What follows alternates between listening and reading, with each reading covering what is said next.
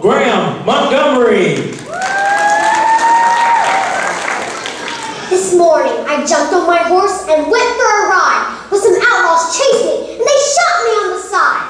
So I crawled into a wildcat's cave to find some place to hide, but some pirates found me sleeping there, and soon they had me tied to a pole and built a fire under me. I almost cried.